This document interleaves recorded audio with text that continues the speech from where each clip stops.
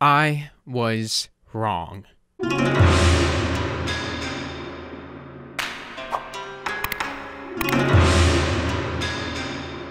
Bonsai! I'm the Cobra Kai Kid, and on May 2nd of 2018, Cobra Kai Season 1 was released, and it was met with a very positive reception, scoring 100% on Rotten Tomatoes.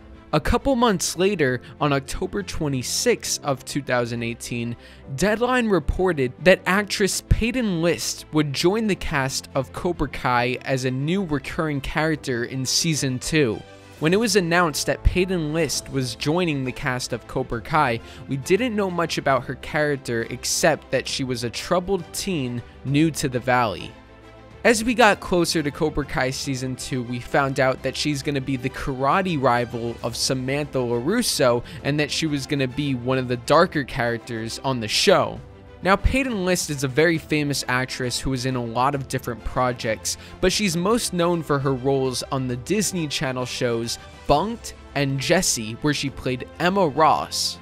And if you watch those shows, you'll see that her character, Emma, is nothing like Tory. In those Disney Channel shows, she's playing this sweet, nice girl, and you couldn't possibly picture her getting into a fight or knowing anything about karate. And she didn't. Peyton List had no martial arts experience going into Cobra Kai. So while I wasn't mad at the casting decision, I was actually excited because I knew this actress and I was excited to see what they were going to do with her character. I have to admit, I was a little skeptical about how they would introduce her into the show and how she would play this tough girl who's an adversary to Sam, even though she was playing this sweet girl from Disney Channel. I really wasn't sure if she would be able to pull it off. And then the season 2 trailer came out and she was epic in it, but that's still not enough. What is she actually going to be like in this season?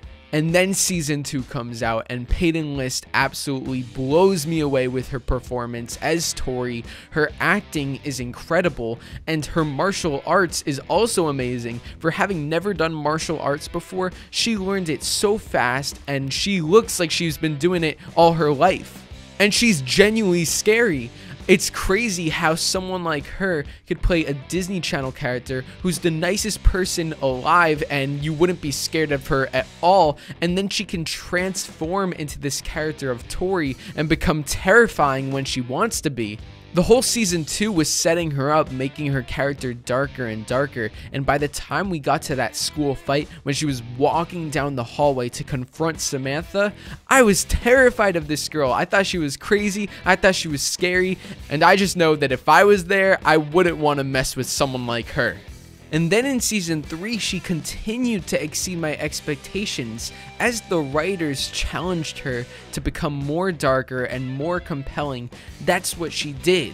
While I'm not the biggest fan of the character of Tory because I think she's a little too much on the crazy side, I do really respect how Peyton List portrays her, and she's one of the most intriguing characters on the show because of how crazy she is and because of how much stuff is going on in her mind because we know that she's dealing with a lot in her home life and with her friends and with her sensei and everything. So that all is into this stress and this anger that she's unleashing. And the way that Peyton List is able to portray this and to show this anger, I'm sure it's exactly how the writers envisioned. And watching it unfold on screen is one of the most compelling things about the show. And her character just has so much depth and dimension that I am always intrigued when she appears on screen and we're watching a scene with her because you never know what to expect. You don't know if she's going to just go off in that moment.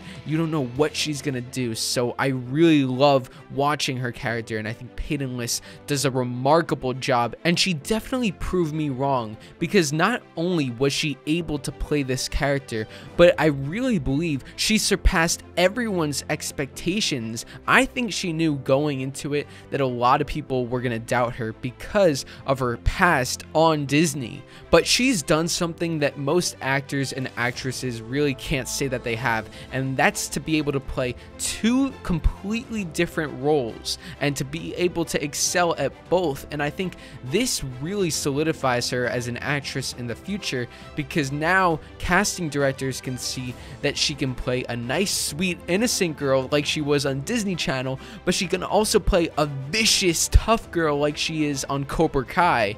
And that's definitely going to set her up for an amazing future and an amazing career because while she's already very successful at her age, I think this is only the beginning for her. So I want to know in the comment section below if you were familiar with Peyton List from Disney Channel before Cobra Kai, and did you think that she was going to be able to pull off the role as Tory even after they described it as this tough girl who was the adversary to Sam LaRusso? Let me know your thoughts in the comments section below. Make sure to hit that subscribe button and turn on all notifications to never miss a new Cobra Kai Kid video. Hit that like button and share the video with your fellow Cobras and Miyagi-Dos. I'll see you all next time on Cobra Kai Kid, and until then remember, Cobra Kai never dies.